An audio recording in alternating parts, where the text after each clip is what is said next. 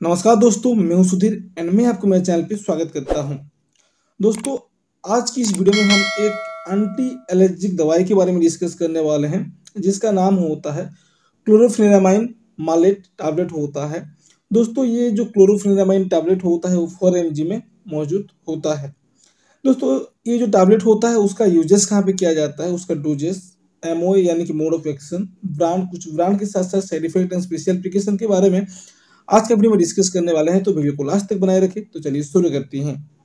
दोस्तों, ये जो क्लोरोफिनेरामाइन टैबलेट होता है, उसकी यूजेस के बारे में समझते हैं कि इसको यूज़ किया जाता है एलर्जिक रिएक्शन में। चलिए, उसके बारे में आगे बढ़ने से पहले मैं आपको बता दूँ कि ये जो क्लोरोफिनेरामाइन टैबलेट होता है, इसको ये एक एंटी एलर्जिक टैबलेट होता है।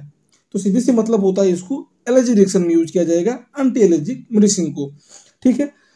एलर्जिक रिएक्शन की वजह से होने वाले समस्या जैसे कि हो गया इचिंग। इचिंग का मतलब होता है दोस्तों खुजली, रोनी नोच। रेनोच का मतलब आपको नाक जलने जैसे महसूस या नाक से पानी निकलने जैसे महसूस होगा आपको स्नीजिंग छींक होगा आपको वाटर आय आय में जैसे पानी भर रहा है आपको, ऐसे महसूस होगा, नाक से पानी निकलने का महसूस होगा, आँख लाल होगा। इन सारे केसेस होते हैं एलर्जिक रिएक्शन में। इन्हीं सारे केसेस में इस दवाई को आप यूज़ कर सकते हैं, एक अच्छी डॉक्टर की सलाह के साथ। दोस्तों, उसकी डोजेस के बारे में बात करें, सॉरी, उसकी डोजेस के बारे में बात करें कि कोई भी व्यक्ति होता है, वो फोर्टीन ईयर से अभव है तो वो दिन में एक बार इस दवाई को ले सकते हैं। इस दवाई को लेने का सही समय होता है दोस्तों कि आप इसको शाम में खाली पेट ले सकते हैं, जो शाम के समय होते हैं, उस समय आप खाली पेट में इसको ले सकते हैं, खाना खाने से पहले। तो दोस्तों, चलिए उसकी एमओ के बारे में समझते हैं। दोस्तों इसका एमओ का मतलब होता है मोड ऑफ़ एक्शन ये कैसे काम करता है?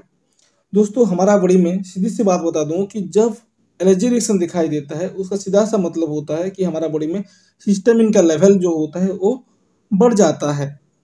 जब हमारा बॉडी में हिस्टामिन का इंक्रीज होता है, तब हमें एलर्जी रिएक्शन होता है।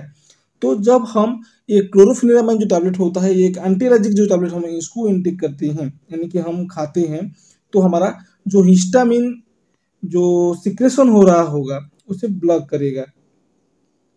ठीक है? क्या कहता है? That works by blocking the action of histamine a substance responsible for causing allergy reaction यानी कि हिस्टामिन एक ऐसा सब्सटेंस होता है जो एलर्जी रिएक्शन के लिए रेस्पॉन्सिबल होते हैं तो हिस्टामिन को ये ब्लॉक करेगा। ठीक है? दोस्तों, कुछ ब्रांड के बारे में बात करें। मार्केट में बहुत सारा ब्रांड अवेलेबल हो जाता है। उसमें से कुछ ब्रांड काफ़ी पहचान ब्रांड होता है, जैसे कि कारिस्टियन प्रिटन कोल्ड नील, ये सारे कुछ ब्रांड होता है दोस्तों मार्केट में अवेलेबल होता है। आपके डॉक्टर के हिसाब से आपके मार्केट में कौन सा ब्रांड अवेलेबल होता है तो आप देख सकते हैं, बट जो कंपोजिशन होता है वो क्लोरोफिनेरामाइन होना चाहिए। दोस्तों, हर एक दवाई का साइड इफ़ेक्ट होता है। इस दवाई का भी साइड इफ़ेक्ट के बारे में बात करें तो कुछ साइड इफ़ेक्ट जो माइनर सा साइड इफ़ेक्ट दिखाई देता है डाउजीनेस डाउजीनेस का मतलब होता है दोस्तों, आपको नींद आने जैसी महसूस होगा। डाइजीनेस थकान महसूस मतलब दिखने में असम सक्षम जैसे आपको महसूस होगा। कंस्टापेशन ब्लड विजन आपको दिखने में समस्या हो सकता है। आपका माउथ ड्राई हो सकता है ड्राई माउथ नोज़ भी ड्राई हो सकता है थ्रोट भी ड्राई हो सकता है इन सारे जो केसेस होता है ये सारे केसेस दिखाई दे सकता है। चलिए दोस्तों कुछ प्रिकॉशन के बारे में बात करें कि को, कोई भी व्यक्ति होते हैं जो प्रेग्नेंट लेडी होते हैं ब्रेस्ट फीडिंग लेडी होते हैं कोई भी दवाई लेने से पहले अपने डॉक्टर को ज़रूर कंसल्ट करिए साथ ही साथ इस दवाई भी ले रहे हो तो डॉक्टर की सलाह ज़रूर ले। ठीक है दोस्तों और कोई भी व्यक्ति होता है बिना डॉक्टर की सलाह से ये दवाई को ना इंटेक करे और कोई भी, कभी भी, कोई भी दवाई आपने मन मर्ज़ी से इंटेक ना करे।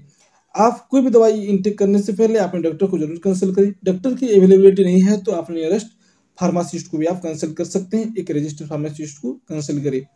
दोस्तों, हमारा वीडियो को बनाने का मकसद होता है आपको मेडिसिन के बारे में अच्छी जानकारी मिल सके। हम कहीं से भी, कैसे भी प्रस्तुत नहीं करते हैं कि हमारा वीडियो को देख के आप मेडिसिन का इंटेक करें।